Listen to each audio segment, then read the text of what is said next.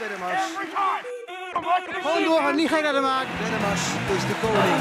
997, daar is hij weer. Stoer hoor. Heel goed weg, Erben Wennemars. Eh, brons voor Wennemars. Brons voor Wennemars. Een fabuleuze laatste ronde van Erben Wennemars. Staande ovatie. Wennemars gebrand als altijd. Gewoon je eigen rit rijden. Het is gelukt. Maar Wennemars accelereert. Wennemars accelereert.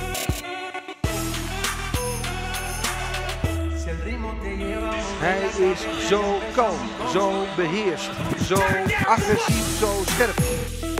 Kom op, doorgaan die laatste meters. Kom op, Wennemars. En 1.47.80.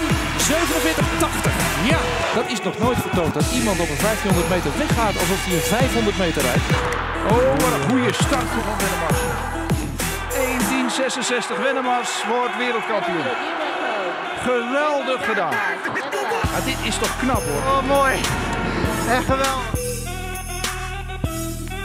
Is zo mooi. Het andere heb. Hier gaat Erben Wennemars op naar zijn wereldtitel. Hij prolongeert het. Hij is de wereldkampioen en blijft het. Erben Wennemars. Maar één ding. Verrekte taai. Every time. Boom, like a machine, man. Wereldkampioen worden is moeilijk. Wereldkampioen blijven is veel moeilijker. Foei. Gemaddel. Ja. Goede. Dag allemaal. Ja. Jongen, jongen. Dat zijn een boel mensen hier, zeg. Zijn veel... Heb je een beetje een leuke dag gehad allemaal vandaag? Ja? Hebben we, hebben de, lezing van, van, van Ton de Graaf, is die een beetje aangekomen? Ja? Hebben jullie ook vanochtend Rob Harmeling eh, me- me- meegekregen? Ja? Heeft hij nog over mij gehad misschien? Ja, ook nog? Och, gut, gut. Ik hoop dat hij alleen maar een beetje positief geweest is. Ik heb wel net zo'n foldertje meegekregen. Heeft inderdaad een prachtig logo, Matus eh, Foundation. Vind ik hartstikke mooi. Vind ik geweldig. Ik vind het leuk dat Rob hier eh, aan de slag mag. En ik vind het daarom ook heel leuk dat ik hier vandaag mag zijn. Ehm, en ik mag de dag even een beetje afsluiten. En ik eh, denk, normaal gesproken praat ik altijd een beetje over het programma heen. Ik ga kijken wat er allemaal gezegd is vandaag. Maar eh, deze onderwerpen, dames en heren, ik kan er helemaal niks mee. Nee, ik vind het echt ongelooflijk lastig allemaal. En eh het is allemaal veel te intelli- intelligent voor mij. En ik ben, ik ben, een, ik ben een schaatser. Ik ben, daarom heb ik het filmpje ook even laten zien net. Vond u een beetje een leuk filmpje? Ja? Wat, wat valt u op als je naar, naar dat filmpje kijkt? Het beweegt allemaal, fanatisme, hè? Ja, hè? Ik zit er af en toe naar te kijken en denk, jongen, jongen, jongen, wat een energie, zeg. Poh. Ik word er al moe van als ik er gewoon al naar kijk. Eh, Echt waar. Ja, ja, ja. Nou, ik, ik, eh, ik, ik mag iets over mezelf vertellen en ik mag ook iets meegeven vandaag. Dus ik, eh, ehm, ehm, ik, ben, ik, ben, ik, ben, ik sta hier, ik heb het laten zien ook, omdat ik dit filmpje laat zien, omdat ik even moet, mezelf moet introduceren. Want ik kan er niet van uitgaan dat iedereen weet wie ik ben. Ja, nee, heel lastig, heel lastig, maar ik ben officieel namelijk alweer tien jaar geleden gestopt met schaatsen. Dus mensen kennen mij wel, maar niet van alleen maar van schaatsen. Mensen kennen mij meestal nu van andere dingen, dat ik met name heel veel praat over schaatsen. Maar ik ben hier omdat ik ooit wereldkampioen schaatser ben geweest. En, eh, en tien jaar geleden kwam daar een einde aan en toen, eh, toen, toen ging ik het gewone leven in, het gewone leven in wat jullie ook leiden. Een normaal leven, normaal werken. En ik ging ook normaal werken. Ik dacht, weet je, ik sluit het af, mooi geweest en gewoon werken. Dus ik, ik mocht mij, ik mocht, ik kreeg, ik kreeg een baan aangeboden, hartstikke leuk, bij, eh, bij een heel groot uitzendbureau. En dan mocht ik op de marketingafdeling werken. Vond ik fantastisch. Ik ben daar geweldig. Ik denk, eindelijk mag ik gewoon een pak aantrekken. Hè? Ik heb tien jaar lang, vijftien jaar een trainingspak aangehad. Mag ik net zo'n pak aantrekken. Nette kleren. Met allemaal mooie, intelligente mensen om, om, om, om me heen. En iedere dag mocht ik met de auto van Dalfsen naar Amsterdam rijden. Ik denk, dat is gaaf. Dat ga ik net zo doen als, als, als, als gewone mensen. Maar weet je, ik vond het ongelooflijk lastig. Ik vond het echt heel moeilijk. Echt heel moeilijk. Want iedereen om me heen vond het mooi. En ik kreeg het gewoon niet voor elkaar om acht uur per dag gewoon daar op het kantoorpand te zijn. Dat, dat, dat kreeg ik niet, ik kreeg het niet voor mij. Hoe kan, ik, hoe kan het nou dat ik wereldrecords kan rijden, dat ik altijd energie heb, dat ik altijd voor ga? Maar dan gewoon normaal werken en terwijl iedereen om me heen het leuk vindt, kreeg ik het niet voor elkaar. Ik stond soms, hè, dan reed ik naar huis toe, zet ik, parkeerde ik de auto langs de A1 en dan stond ik brakend naast de auto. Ik vond het niet leuk. Echt niet leuk.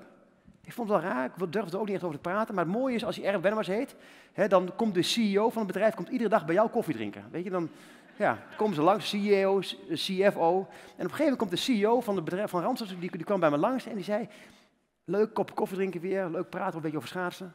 En die vraagde mij, wat doe jij hier eigenlijk? Ik zeg, ja, dat is een goede vraag. Ik heb geen idee. Ik kijk allemaal naar Outlook, eh, programma's, allemaal op computers. Ik heb er geen verstand van. Hij zei, maar dat is ook niet de reden waarom ik je aangenomen. Ik heb je aangenomen omdat je die, die sporter was. dat, je, waar, wat jou zo goed maakt als sporter, ik wil, dat wil ik graag dat je het ook meeneemt na, naar dit bedrijf. Ik vond het een rare vraag. Hij zei, ga eens naar huis toe en ga eens op zoek naar wat je nou zo succesvol maakte als sporter. Ik ging in mijn auto naar huis toe. Het mooie is, als je ergens heet, kun je gewoon je eigen naam intypen op, op internet en dan krijg je allemaal filmpjes over jezelf. En dan krijg je dus dit soort filmpjes. Ik zat er naar te kijken inderdaad, en dacht, jongen, jongen, jongen, wat een druk te maken. Echt. Och, ik word er al moe van als ik alleen al naar kijk. Maar ik dacht toen ook wel een beetje, dat is het wel. Dat is hetgene wat het nou iemand succesvol maakt. Ik ben opgegroeid op een boerderij en ik dacht vroeger altijd één ding, gewoon of twee dingen eigenlijk. Je moet gewoon talent hebben, je moet gewoon een opleiding hebben, dus je moet gekwalificeerd zijn. Hè? Je moet in het register kunnen de, de, mogen staan, zoals Tom, Tom zegt. En daarnaast moet je gewoon hard werken. Heb je ook gezegd net aan het einde, hard werken. En als je dat bij elkaar combineert, dan word je vanzelf wel gewoon succesvol. Maar dat is niet genoeg. Dat is niet genoeg. Dit is het niet. Het is juist die energie en die passie die er overheen legt. Dat is hetgene wat het nou succesvol maakt. En hoe kun je dat nou gewoon aanwakkeren bij mensen? En ik heb daarna zitten kijken en ik heb mijn eigen carrière gekeken. En ik heb, heb, ik nou, heb ik nou wat ingrediënten die ik eruit kan halen? En als ik die ingrediënten heb, kan ik mezelf dan toetsen of ik dan ook echt in mijn element sta. Of ik dan ook echt in mijn passie en in mijn energie sta. Nou, ik heb een aantal dingen, wil ik graag met jullie bespreken. Ik heb eigenlijk drie ingrediënten. Het eerste is, uh, als in mijn simpele wereld van topsport, hè, dat is eigenlijk heel simpel. Daar moet je heel goed duidelijk een doel hebben. Dus weten, wat wil je? Nou, wat is de essentie van topsport? Wat draait het om in topsport, dames en heren? Heel goed, winnen, allemaal, goed zo. Zijn we het over eens, hè, winnen. Dus, dus, dat wil niet zeggen dat dat voor jullie is, maar voor mij winnen. Dus ik heb heel duidelijk een doel, dat is heel belangrijk. Duidelijk een doel, één. En het tweede is, want, want wij zijn natuurlijk één grote familie hè, met, met elkaar. Eén groot bedrijf en allemaal samen prachtig. Je moet in teams werken. Niet, niet, niet, niet al te grote teams, wel grote, mooie, mooie teams. Ik ben ook van de teams. Ik ben 200 dagen per jaar reis ik over de wereld heen, 10 jaar lang. En 200 dagen per jaar doe ik dat met, met mijn hele ploeg. Met 10 atleten, 10 man begeleiding eromheen. En reizen wij over de wereld heen. Samen ontbijten s morgens. Samen trainen s ochtends. Lunchen samen. We trainen nog een keer samen. We dineren samen, we gaan samen naar de film we delen hotelkamers samen. Dat 200 dagen per jaar. Dan moet je echt wel goed kunnen samenwerken. Anders lukt het niet. Maar toch, hè, als ik heel eerlijk ben naar mezelf, moet toch een beetje eerlijk zijn, eerlijk zijn vandaag. Ben ik eigenlijk, ik ben eigenlijk gewoon, weet je, ik ben eigenlijk gewoon in die tien jaar dat ik echt aan de top gestaan heb, ben ik gewoon directeur, groot aandeelhouder, CEO van de BV Erben geweest. Ja, ik heb het gewoon lekker voor mezelf gedaan. Geen gehoor. Ja, het is misschien niet, niet populair, maar ik geloof wel in dat je het echt voor jezelf moet doen.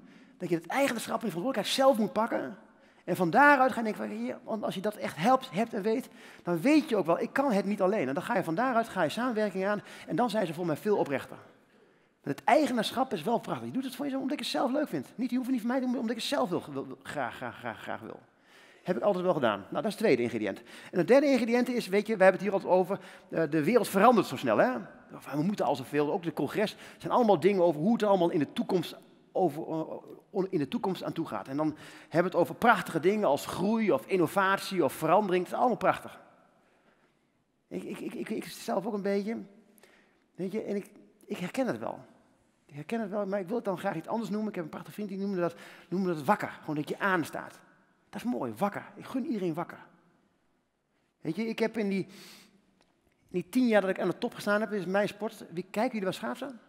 Ja, ja. Het is vrij simpele bezigheid. Hè? Het is 100 meter rechtuit, sla je linksaf, weer 100 meter rechtuit en dan sla je weer linksaf. Hè? Maar toch, hè? Ja, je lacht er maar om. Maar ik heb nog nooit, nog nooit een leeg rondje geschaatst. En wat nou een leeg rondje schaatsen? Is dat ik maar gewoon maar wat doe. Dat ik gewoon op de automatische piloot zeg, en het wordt opgedragen, ik moet zo en zoveel uren dit doen, ik moet dit en dit doen, ik moet, dit, moet deze handelingen doen. Nee, ik was altijd bezig met hoe kan het anders of hoe kan het beter. Hoorde ik ook, beter. Het moet beter. Hoe gaat de schaats door het ijs heen? Hoe voelt de druk in mijn benen? Hoe, hoe, hoe, hoe strak zit mijn pak? Hoe is de omgeving? Hoe, hoe is het ijs? Hoe is het ten tegenstander? Hoe is het publiek? Hoe is mijn interactie? Hoe, hoe is mijn hartslag? Altijd was ik erg bezig. Hoe kan het anders beter? Dat is leuk. Denk, als je het namelijk niet meer hebt, dan moet je snel stoppen ermee. Dan is het weg. En dan wil ik niet dat de mensen dat nou, weet je, ik hoor heel vaak dat we dat mensen op willen leggen. Hè? Dat moet allemaal, we moeten veranderen, we moeten dit. Nee, ik gun het je. Ik gun je verandering, ik gun je innovatie. Ik gun je een wakker bestaan. Omdat ik serieus denk dat het een onderdeel is van gepassioneerd en, en energiek zijn. Denk er over na. Nou, laten we beginnen met het eerste. Hè? Want uh, het eerste ding, we toch een beetje uit, uit, uitdiepen. Uh, een duidelijk een doel hebben. Hè? Een duidelijk een doel. Wat is het eigenlijk? Hè? Jullie zeiden net massaal winnen. Hè? Ik ben namelijk een product van winnen. Ja. Weet je wat voor mij winnen betekent? Ik win, jullie verliezen. Keihard. Ja, je denkt nog eens net een leuk, hè, die erben, leuk filmpje, leuk, lekker energiek, aardige gozer. Maar ik ben helemaal geen aardige gozer. Ik ben bikkelhard. Bikkelhard. Ik ga over alle grenzen heen. Ik wil winnen ten koste van alles. Ik bijt je kop eraf als het moet. Ja. Hebben, de Olympische Spelen van Rio gezien? Heb een beetje meegekregen? De Olympische Spelen van Rio, een paar jaar geleden. Team NL, high performance, allemaal fantastisch. Hè? Top 10 ambitie, winnen, dat is het enige wat telt. Hè? Heb je dat meegekregen over die losersvlucht? Ja? Dat als hij niet gewonnen had, dan moest je met het vliegtuig naar huis. Hè? Ik had hem kunnen bedenken. Ja, ja. Geen gouden hoer, hupsakee. Nummer twee, hupsakee, move, naar huis toe. Nee, ik maak maar, ik maak maar een grap, ik maak maar een grap. Nee, maar wat, wat grappig is, ik ben een beetje in de war. Echt. Alles waar ik voor sta, hè, ik ben keihard. En ik ben echt keihard. Ik ga over alle grenzen heen, want ik, ik wil alles doen om te winnen. Ik ben er best wel trots op eigenlijk. Maar hoe langer ik afstand neem van de sport, hoe meer problemen ik heb met het idee van winnen. Het voelt niet meer zo goed bij mij. Ik heb, ik heb er last van. Gek hè? Alles wat ik ben, waar ik tien jaar lang mijn hart en ziel in gegeven heb, ik zie af en toe dingen gebeuren en denk van ja, het klopt niet goed. Neem bijvoorbeeld de Olympische Spelen van Rio, bijvoorbeeld die losersvlucht. Ja, het voelt niet goed. Het voelt gewoon niet goed. Tegelijkertijd zie ik allemaal dingen gebeuren daar. En, en, en we winnen wel, maar we worden geen kampioen. Feitelijk gezien halen we alle targets wel. Hè? Waar het om gaat. Feitelijk gezien doen we alles precies wat het moet. Bijvoorbeeld, neem bijvoorbeeld het Holland Heinekenhuis. Dat is een prachtig voorbeeld. Weet je, de tent is vol, we douwen er 4000 man in. We gaan laten de bierpomp vol draaien. Een Nederlandse DJ erin en het is feest. En toch heb ik het gevoel, ik voel me er niet meer thuis. Feitelijk gezien halen we alle targets wel. Dat klopt niet. Net zoals als het, die top 10 ambitie allemaal. Wat we allemaal zo goed moeten zijn met z'n allen. Want het gaat om één ding, dat we hoog staan in Nederland. Ik kreeg een beetje, een beetje allergie krijg ik ervan.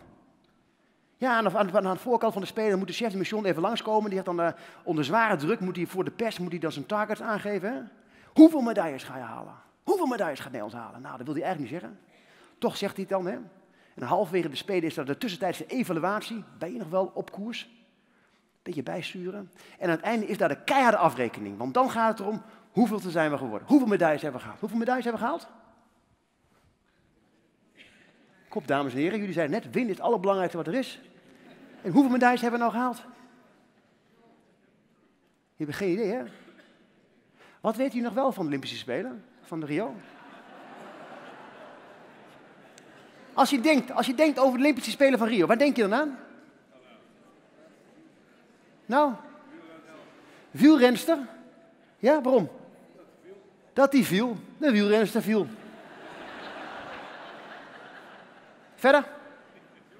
Jury van Gelder. Jury van Gelder natuurlijk. Jury van Gelder gebruikt een klein beetje cocaïne in, zijn vrije tijd. Drinkt lekker, stevig, ook vlak voor de wedstrijden. Is alles wat ik eigenlijk niet ben. En toch, hè, die jongen werd naar huis gestuurd. Ik was daar. Ik had het gevoel, weet je, ik moet hem verdedigen. Ik werd meteen gevraagd aan mij, wat vind je ervan? Ik, ik had het gevoel, weet je, voelde gewoon niet goed. Ik ben het niet en toch had ik het gevoel, ik moet voor hem gaan staan. Gek, hè? Ik ben in de war. Ik ben echt in de war. Tegelijkertijd zeggen we, als we winnen, dan heb je alles voor je. Dan heb je geld, roem, aandacht. Ik heb een poosje geleden met, uh, met een aantal sporters in een kasteel gezeten. Onder andere ook, ook met Edith Lichtlee. Nou, meisje is olympisch kampioen, nog steeds regeert olympisch kampioen, doodongelukkig. Hé, hoezo? Het is, is het, is, klopt het dan wel? Ik vind echt een beetje in de war. Het hele concept van de Olympische Spelen ook. Rio, de Spelen van de mensen. De favela's. Nou, de favela's waren afgesloten met tanks. En als ik in de war ben, dan ga ik altijd kijken naar waar komt iets vandaan. Dat geeft me namelijk hou vast. Gek hè? Dus ik, ik heb tijd, ik loop door de spelen, over de spelen heen, want ik mag tegenwoordig overal mee als journalist. Of als, of als, als journalist, of als, als mezelf eigenlijk gewoon. En dan loop ik daar rond en denk van wie heeft eigenlijk dit hele idee van die Olympische Spelen bedacht? Wie is er ooit bij begonnen? Dan ben ik erachter gekomen, dat is Pierre de Coubertin. Die heeft het ooit bedacht. Kennen jullie Pierre de Coubertin? Ik had er nooit van de kerel gehoord. Echt niet. Nee, nee. Ik heb, ik heb alleen tien jaar alleen maar blind winnen, winnen, winnen gedacht. Maar nu Pierre de Coubertin. Maar misschien kennen jullie wel een, een spreuk van Pierre de Coubertin. Ah, meedoen is belangrijker. Heb je het ooit, ooit eerder gehoord? En net riep je nog met z'n allen het één ding wat telt, winnen. Gek hè? Weet je wat typerend is voor deze tijd?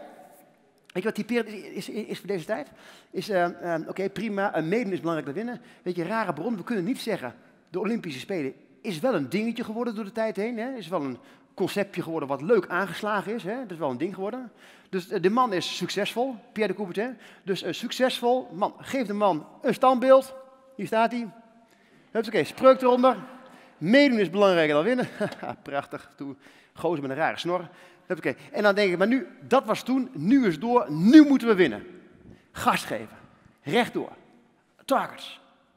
Wat we niet meer hebben, is de rust om eens even na te denken van, hé, hey, wat bedoelde die man eigenlijk echt? En wat zei ik nou eigenlijk echt? Toen ben ik, er- ik, dat, ik heb er toch een beetje de tijd en ik kon erachter komen dat die man helemaal niet zei, meedoen is belangrijker dan winnen. Hij zei, het gaat niet om de winst, maar het gaat erom dat je goed gestreden hebt. Het gaat er niet om dat je gewonnen hebt, maar het gaat erom dat je er alles aan gedaan hebt om te winnen. Wow, dat is een mindfuck. Dus is het dan wel of niet winnen, hè? Ik ben een beetje in de war.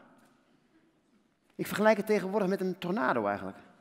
Er midden in die tornado, helemaal midden in die tornado, dat is winnen. Als je echt helemaal middenin staat. Als je echt helemaal midden in die tornado staat, gebeurt niks. Daar is het windstil. Daar is het rustig. Dat is leeg. Maar vlak daaromheen, hoe dichter je bij de kern van die orkaan komt, daar begint het harder te waaien. En hoe harder het begint te waaien, en dicht bij de kern, dan gaat alles kapot. Daar moet je zijn. Daar is de actie. Daar gaat het om wie ben je, waar sta je voor, waarom doe je dit, wat draag je uit. Dat is de actie. Het gaat niet om het doel, maar het gaat om de bedoeling. Ik liep een poosje geleden, bijvoorbeeld in het voorjaar, waar reed Pavel Kulusnikov een nieuw wereldrecord op de 500 meter. En ik riep 33-61. Dames en heren, onthoud, 33-61. Fantastisch, geweldig. 32, 54, 31, 8, 12, 6. Ja, maakt allemaal niet uit, het is maar een tijd, het is niks. Het is hetgene wat het vertegenwoordigt. En dat is hetgene waar het hem volgens mij om gaat. Dat een rare, dubieuze Rus is die tegen een jongen uit Leiden rijdt, die ook, een, eh, ook anders is. En, en, en, en dat komt samen in karakters. En dat, daarom gaan we er naar kijken. Daarom hebben we, er, hebben we er gevoel mee. Maar de prestatie op zich, wat maakt het mij nou uit of ze 60 km per uur rijden of 80 km per uur? Het gaat om wat anders. En nu allemaal gaat het te veel door. Te ver door. Toen ik tien jaar geleden stopte met schaats, dacht ik echt van, nou weet je, ik kan rustig sterven. Echt, ja. Nu ergens tegen een boom aan rij, ach ja. Dan kom ik, kom ik gewoon in het acht uur journaal. Ja. En dan gaan ze dan laten zien. Dan en dan fantaseer ik eens over. Wat, gaan, wat zullen ze dan laten zien mij, van mij? Hè, welke, welke, welke titel, ik heb- ik ben acht keer wereldkampioen dames en heren. Dus welke, welke titel zouden ze dan laten zien? Welke, welke vinden jullie de mooiste?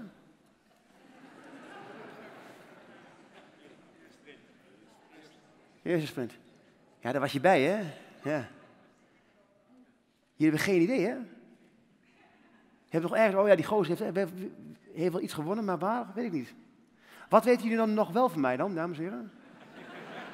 Als jij aan mij denkt, wat aan Erwin Wennemars denkt, wat denk je aan dan? De val, nou dankjewel. Ben je tien jaar gestopt, hè? heb je ongelooflijk je best gedaan, word je herinnerd aan de val. Weet niet voor degenen die het niet weten, ik ben ooit in 1998, mijn eerste Olympische Spelen, was een leuk verhaal wel, was uit het niks gekwalificeerd, uit het niks. Want ik was helemaal geen goede schaatser, maar in die zomer kwam de klapschaats. Die klapschaats kwam en ik vond het echt zo van de een op de andere dag kon ik heel goed schaatsen. Was ik regionaal top, wereldtop, fantastisch. Ook nog het jaar van de Olympische Spelen, prachtig. Uit het niks kwalificeer ik mij voor, de, voor het WK Sprint, twee weken voor de Olympische Spelen. En ik word derde. Geweldig, hè? Ik kwalificeer mij voor drie afstanden op de, op de Olympische Spelen. De 500 meter, de 1000 meter en de 1500 meter. De 1000 en de 1500 meter zijn mijn beste afstanden. Ik begin met de 500 meter. En ik rij echt fantastisch. Ik word vijfde op de 500 meter. Toen was nog wel dat je een keertje binnen, keer binnenbaan moest starten en een keer in de buitenbaan moest starten. En in de tweede omloop reed ik tegen de Noor Grundenjus, een grote gozer. 100 kilogram, grote rood pak aan, kolossale gozer. En waar ik heel goed overweg kon met die klapschaats, kon hij eigenlijk heel slecht overweg met die klapschaats. Maar hij ook, winnen ten koste van alles. En wat gebeurt er? Hij gaat te hard voor wat hij kan. Hij heeft de laatste binnenbocht, hij heeft geen controle meer over zijn schaatsen. En hij valt. En hij, ik voel hem in mijn ooghoeken vallen. Hij komt naar me toe, maar ik denk niks. Ik moet en ik zal naar die finish toe. Ik moet en ik zal door. Winnen ten koste van alles. En ik hij komt naar me toe, hij schuift door de, door, door de lijn heen, de blokjes vliegen over de baan heen. En hij komt naar me toe en ik denk, weet niet, door. Ik spring over hem heen. Ik ben jong atletisch, dus ik spring over hem heen. Maar op het moment dat ik mijn schaats neerzet, ik ben uitgeweken naar de buitenkant, omdat die blokjes over de baan heen vlogen, komt er een blokje onder mijn schaats en ik val het first de boarding in. Ik lig daar op de grond en ik heb pijn. Ik heb serieus pijn. Ik, had, eh, ik uh, kan wel een, uh, ik mocht wel naar, naar, naar de Sitmaterskliniek doen. Echt pijn. Ik heb er nooit meer over nagedacht. Dat is, maar, daar kent u mij, mij dus van. Nou.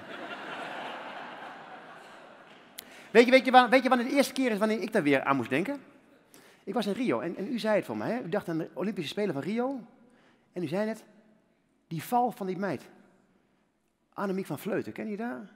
Zij, was, zij heeft eigenlijk een soort gelijk iets, me, iets meegemaakt. Een soort gelijk iets. Ik was daarbij op die dag. Ik stond op de Copacabana te wachten bij de finishlijn. Het was een mooie dag. Nederlandse dames reden fantastisch. En, en Annemiek Vleuten demareert en ze heeft een grote voorsprong. Ze hoeft alleen nog maar de afdaling te maken. En onderaan die afdaling, daar is de Copacabana, daar is de finish. En Nederland gaat goud halen.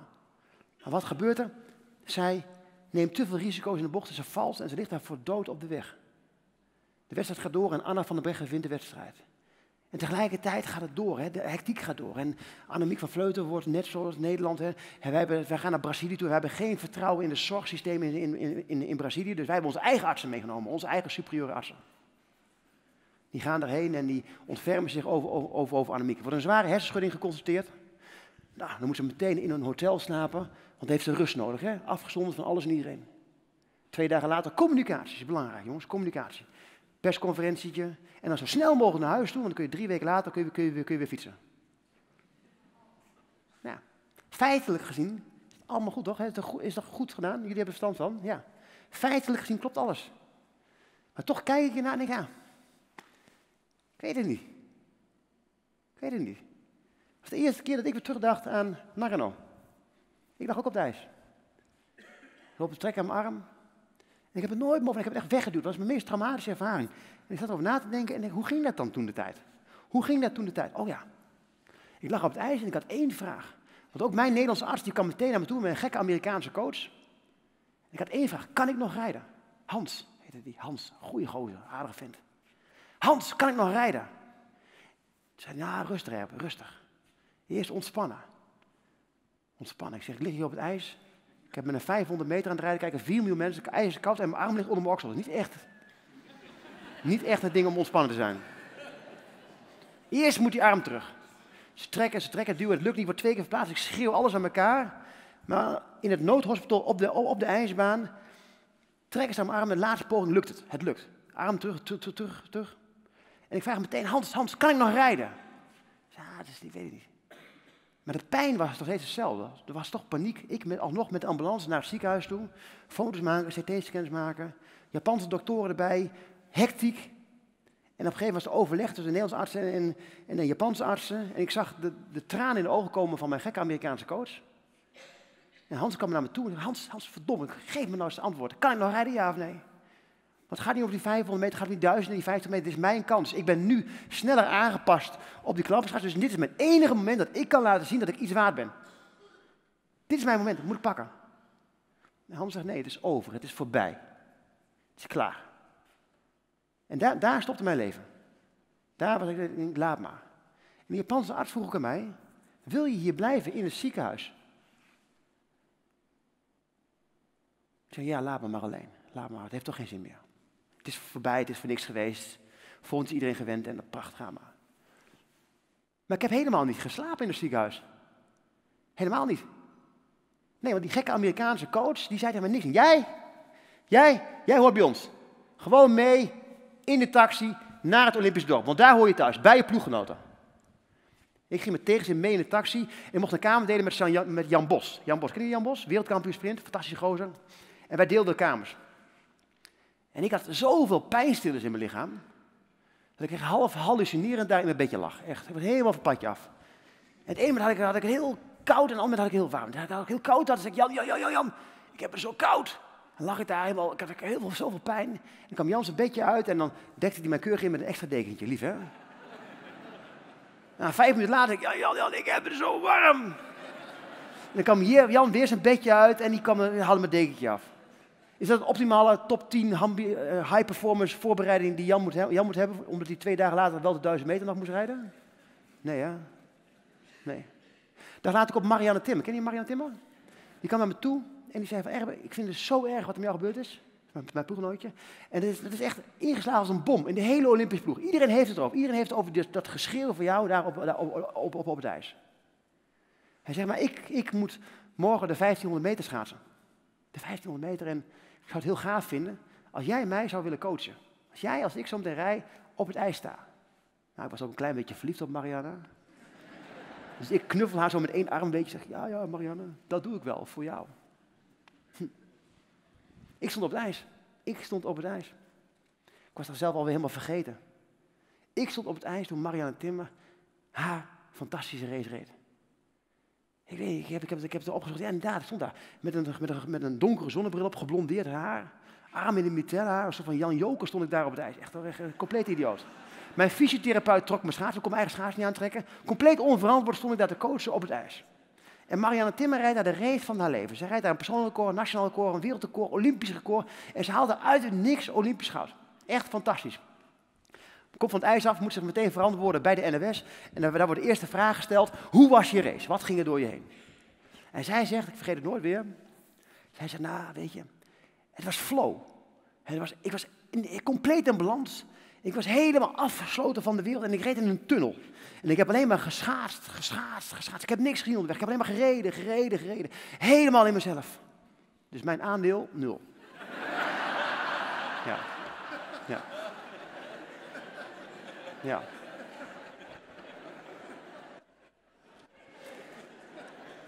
Ik ben op, ben op dag twee van de Olympische Spelen gevallen. Dag twee. En geen haar op mijn hoofd die erover nadacht om naar huis te gaan. Niks niet. Ik heb echt iedere avond het licht uitgedaan in het Holland Heinekenhuis. Echt. Maar als jij mij nu vraagt, hè, waar ben je nou het meest trots op? Wat is, wat is nou je beste prestatie ooit? Misschien is het wel gewoon vallen in Nagano. Gek hè? Vallen in Nagano. Heb ik niks voor te doen. Ben gewoon onderuit gereden. Maar daar heb ik wel laten zien wie ik was, waarom ik schaats. Weet je, we deden het samen, we waren een team. We deden het met elkaar en lieten zien dat we passie voor sport hadden. En tegelijkertijd, het Holland Heilig was, Holland was het vertelde, want het was nog een plek, hè? Want daar klopt het nog. Daar, daar was nog een plek waar publiek, atleten, familieleden, coaches elkaar samenkwamen, bij elkaar samenkwamen om succes te vieren en om verdriet te verwerken. Dat was de essentie van het Heilig. Daar ontstond magie. Dat was fantastisch. Het gaat niet om het doel, maar het gaat om de bedoeling erachter. Als je dat echt goed uitdraagt, dan hoef je niet eens te winnen om toch kampioen te worden. Gek hè? En de grap is, ik loop er nou doorheen. Ik heb daar nooit over nagedacht. En wie dacht er net ook toen ik zei van ik ga over alle grenzen heen? Zou die Wennemars ook? Wie dacht dat stiekem? Nee, niemand hier? Allemaal goed geloven mensen? Mooi. Weet je, ik kom nu in de tijd waarvan ik allemaal de tijd dat er heel veel dopingbekendenissen om, om, om, om me heen zijn. En ik ben echt een harde. Ik ga over alle grenzen heen. Maar ik maak me geen mal Als ik die winst maak kan halen. Wil je dit weten, misschien? Tom, wil je weten? Ja? ja? Ben je nieuwsgierig? Wel een beetje, hè? Ja? Na afloop. Hm. Nou, maar het antwoord is nee. Dus ik, ik heb het niet gebruikt. Ik heb geen doping gebruikt. Nee. Weet je wat er lullig is? Ik heb het ook nooit gezien. En weet je wat het allerlulligste is? Wat ik echt wel vervelend vind, waar ik nogal moeite mee heb. Ik ben namelijk een grote meneer in het schaatsen. Het is me ook nooit aangeboden. Ja. Vind ik, vind, vind, vind ik lastig. Want, hoe kan het nou dat ik dacht, en er gebeuren allemaal dingen om me heen en het is een moeilijke tijd geweest daar. En hoe kan het dan volledig langs me zijn gegaan? Ik heb er wel heel veel over, veel over nagedacht de laatste tijd. En ik kom tot de conclusie, heb gewoon geluk gehad. Ja, geluk gehad. Ik was altijd maar blind bezig met winnen, maar waarom heb ik dan, toch heb ik altijd wel de juiste dingen gedaan, maar toch heb ik zulke afslagen nooit genomen, en ook niet overwogen. Dan ga kijken naar waar kom ik vandaan, wie ben ik, waar sta ik voor. Ik kom uit Dalsen, opgegroeid op een boerderij, gezin, vijf kinderen, niet lullen maar poetsen. Eh, mijn ouders communiceren eigenlijk niet zoveel. Nu sta ik hier voor 800 man, sta ik gewoon hier, hier te praten. Eh, mijn broer rijdt een beetje met een trekker heen en weer over het erf en die rijdt heen en weer. En mijn vader die komt af en toe eh, in huis en dan, komt, dan roept hij mij en zegt hij, wil je komen helpen? Dat is geen vraag, dat is meer een mededeling. Ik weet niet hoe het zit met kinderarbeid precies, maar... En wij gingen ook nooit op vakantie, nooit. Want ja, mijn koeienboer, dus mijn vader zegt van, ja, je kunt, de koeien niet alleen laten. Had hij wel een punt, vond ik. En toch, hè, het is hard werken boerderij, maar toch. Ja, prima jeugd prima. Het mooie is, je leeft namelijk met, met de seizoenen. In het voorjaar, dan wordt alles weer groen. En dan gaan de koeien naar buiten toe. En in de zomer, dan groeit er van alles. En dan wordt er gras gemaaid en dan wordt er ingekuild. En het najaar, dan is het weer wat rustiger. Dan, dan, eh, wordt de mais gaat eraf en dan op een gegeven moment wordt het rustiger op de boerderij. Gaan de koeien weer op stal. En in de winter is het tijd voor onderhoud. Dat is mooi, dat is echt zo mooi. Mijn vader is echt een boer. En, en, en dan heeft mijn vader altijd één stuk weiland wat naast onze boerderij ligt. Dat, dat, dat, is ons land, want daar lopen onze koeien op en mijn vader maait, al- maait altijd het gras. Dat laat hij dan in, in het najaar altijd onder water lopen. Er heeft een heel klein laagje water zit erop. En als het ergens begint te vriezen, dan is dat altijd het eerste plekje wat dichtvriest. Mooi. En het is ook op weg naar school toe, op de route naar school toe. En iedere dag als ik dan een klein beetje fors is, dan stop ik daar. Ga kijken of ik al op het ijs kan staan. En dan ben ik altijd de eerste die op het ijs staat. De eerste. En dan lopen ook mensen lopen daar gewoon hond uitlaten, want het ligt naast een park. Die worden dan kwaad op mij. En zeggen, "Eh, ga van dat ijs af. Die loopt over de kraak en ijs en zegt, ja, ik kunt me toch niet pakken, want ik ben licht en jullie zijn zwaar. Maar waarom zijn ze boos? Ze zijn boos omdat dat niet het land is van mijn vader, het is het land van de ijsbaan. Ik dacht dat het ons land was, maar het is, mijn vader is beheerder van de ijsbaan. En daar lopen onze koeien in verzorgd. Hij is niet alleen beheerder, maar hij is ook ijsmeester. En, en, mijn, en penningmeester en mijn moeder is, is, vrijwilliger. En dat is mooi. Dus wij, wij, wij, leven na, naast de ijsbaan. En als het dan echt harder begint te vriezen, dan, dan ga ik met mijn vader naar de ijsbaan toe. Ga ik onderhandelen over wanneer mag de ijsbaan open. Vijf centimeter, zes centimeter. Een harde onderhandeling heb ik ook wel gezien als hij een koe, koe verkoopt. En dan onderhandel ik met mijn vader. En dan gaat op een gegeven moment gaat dan de ijsbaan open. En dan ga ik mee met mijn vader. Dan zet mijn vader op de ijsbaan neer. En ik eindeloos rondjes op die ijsbaan. Eindeloos. Eindeloos rondjes. En als ik dan compleet uitgeput ben, dan ga ik, ga ik de kantine in. Mijn moeder heeft dan al een uur achter de kassa gezeten om kaartjes te verkopen bij, bij, de entree. Die is inmiddels klaar met kaartjes verkopen. Staat inmiddels achter de bar. Dan kom ik daar compleet uitgeput, kom ik daar in de, in de kantine en dan krijg ik van mijn moeder een kopje warme chocolademelk. En dan mag ik als enig jongetje uit de klas, als enig jongetje uit de klas, mag ik mijn kopje warme chocolademelk opdrinken in de bestuurskamer van de plaatselijke ijsclub De Stokvisdennen. Als het echt begint te vriezen, dan ontdooit de familie Wenmars. Dat is waarom ik schaats.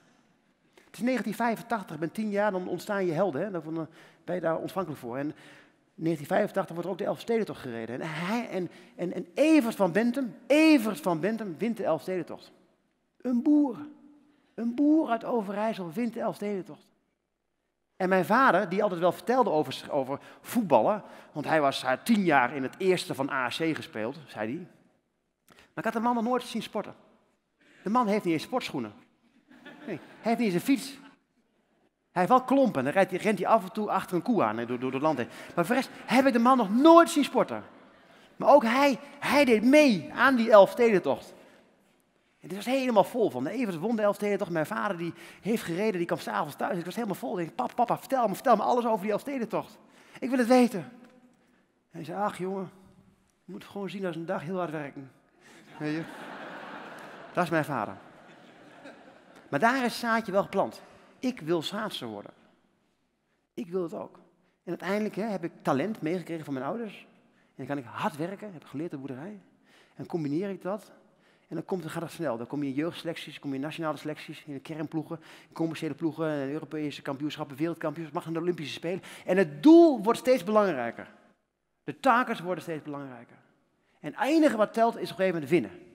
Maar je zult altijd de juiste koers blijven houden, omdat je weet waar je vandaan komt. Omdat er zo verankerd zit van wie zijn wij. Als we dat doen, dan, dan is doping echt een, een, een no-issue. Het gaat niet om het doel, maar het gaat om de bedoeling. Met alles wat je doet. Want als je dat namelijk hebt, dan pak je daarover namelijk eigenaarschap ook. Dan ga je kijken naar waarom ik wel en waarom jij niet. Hè, dan ga je kijken naar wat kan ik toevoegen. Nou, niet kijken naar waarom het niet lukt, maar waarom het lukt het wel. Wat maakt mij, wat, wat kan ik toevoegen? Jullie zijn allemaal gekwalificeerd. Jullie kunnen allemaal hard werken, jullie zijn allemaal goed. Maar wat ga je toevoegen? Waarom wel en waarom, waarom, en waarom, en waarom een ander niet? Waarom gaan ik wel winnen, jij niet? Dat is interessant. Dat willen we ook allemaal wel. We zijn allemaal wel verantwoordelijk en we willen allemaal wel uh, verantwoordelijkheid hebben ook wel. Dat vinden we allemaal leuk en we hebben helemaal geen sturing nodig. Nee, hebben we niet nodig. Als het goed gaat, in ieder geval niet, nee. Als het fout gaat, zeggen we, nou, we zijn een team. Hè? We, zijn, we hebben samen gedaan. Dat is lastig, hè? want we willen wel eigenaarschap en verantwoordelijkheid, maar we willen ook wel zekerheid. En dat is jammer, hè? Dat, want dat gaat namelijk niet op. Want als je die verantwoordelijkheid wil, die eigenschap wil, prima. Als het fout gaat, heb je het ook gedaan. Ik had daar zelf wel moeite mee. Ik had een periode dat ik echt, uh, vond ik worstelde daarmee namelijk. Ik had een periode dat ik heel goed was, tussen 2002 en 2005 was ik echt heel goed. Hè. Tom kan het, het bewijzen, want die heeft me nog een keer een prachtige medaille om, om, om, omgehangen toen ik uh, wereldkampioen werd. Uh, dat was echt heel goed. Het was echt bijzonder goed, want in die drie jaar won ik eigenlijk alles. Werd twee keer wereldkampioen sprint, twee keer wereldkampioen 1000 meter, wereldkampioen 15 meter, drie keer wereldkampioen ploegachtervolging. Ik won 28 wereldbekerwedstrijden, drie keer de wereldbekerklas met overal 1500 meter, twee keer de 1000 meter. Ik werd uh, elf keer Nederlands kampioen. Ik werd drie jaar op rij schaatsen van het jaar. Ik werd het sportman van Nederland. Ben je goed, hè? Ja probleem is alleen, Olympische Spelen zijn in 2006. Dus je bent heel goed, maar je wilt het halen in 2006. Dus we dachten, ik wil zekerheid hebben. Ik denk, ik wil zekerheid. Ik ga er alles aan doen om te winnen. Ik denk, weet je, ik, ik moet hard trainen. Ik was heilig van overtuigd dat er niemand zo hard trainde als Erb Wennemars. Dat kon niet, dat was onmogelijk. Ik, ik trainde zelf zo hard, hè, dat ik hartstikke overtraind was. Echt. En ik was zo hard naar mezelf, maar ook zo hard naar mijn omgeving, dat ik mezelf eigenlijk volledig onmogelijk maakte. Ik was zelf zo erg dat ik drie weken voor de Spelen uit het team gezet ben. Ik denk, hé, hey, dit is heel raar. Ik denk, ik ben de kopman. Ik denk, ik ben het team. Ik dacht mijn trainer toch wel beduidend anders over. En die gooide mij, mij er gewoon uit. Ik had toch allemaal redenen waarom ik vond eigenlijk dat ik verdiende om te winnen. Ik was de beste schaatser ter wereld. Ik heb net al verteld over Nagano, hè? Dat, ik, dat ik er onderuit gereden ben. Ik pech gehad. Hij kon er niks doen. Dus ik heb genoeg ellende meegemaakt, vond ik eigenlijk wel. Het was zielig genoeg. Ik, was, uh, ik, was, ik, ik, uh, ik kom uit Dalfsen, boerderij, hè, boerenzoon. Als je toch een beetje denkt aan het profiel van een schaatskampioen, boerenzoon uit het oosten van het land, ja. Ben ik, hè. Als het profiel klopt. Ik was de beste schaats ter wereld, ik was zielig genoeg en ik trainde harder dan wie dan ook. En het moet gebeuren op de Olympische Spelen op de 1000 meter. Op de 1000 meter, want ik ben namelijk tweevoudig regerend wereldkampioen op de 1000 meter. En met de hakken over de sloot kwalificeer ik mij, met de hakken over de sloot. Maar denk, ik ben er nu. Ik ben er nu en het komt nu wel naar me toe. Dus ik rijd daar de race van mijn leven. Ik geef alles wat ik heb. Al mijn energie stop ik in. Hele, hele ziel en zaligheid. En op het moment dat ik over die finish heen kom, juist daar, daar realiseerde ik me precies wat ik had gedaan. Daar, het kwam binnen als een klap. Het kwam een mokerslag kwam daar binnen. Ik heb er alles aan gedaan om achteraf te kunnen zeggen, ik heb er alles aan gedaan, maar ik heb niet gewonnen. Ik was niet bezig met winnen, ik was bezig met de excuus verzinnen waarom ik niet zou gaan winnen. Hoezo harder getraind dan de concurrentie? Hoe arrogant denk je te zijn dat jij denkt dat je de enige bent die hard traint? Iedereen die op de Olympische Spelen is, doet zijn best. Iedereen traint hard. Dat is een basisvoorwaarde om überhaupt aanwezig te mogen zijn. Natuurlijk doen we allemaal ons best. Hoe arrogant denk jij denkt dat je denkt dat je de enige bent die hard traint? Een boerenzoon uit het oosten van het land, nou dames en heren, kan ik vertellen, een donkere jongen uit Chicago is ook best een goed verhaal voor een Olympisch kampioen.